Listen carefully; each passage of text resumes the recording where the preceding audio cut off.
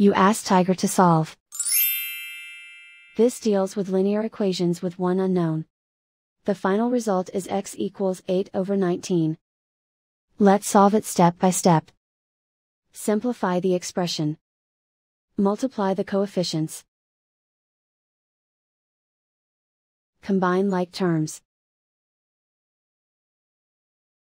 Group all constants on the right side of the equation.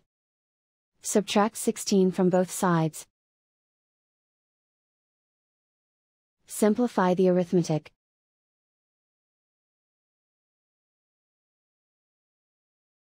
Isolate the x. Divide both sides by negative 38. Cancel out the negatives. Simplify the fraction. Cancel out the negatives. Find the greatest common factor of the numerator and denominator.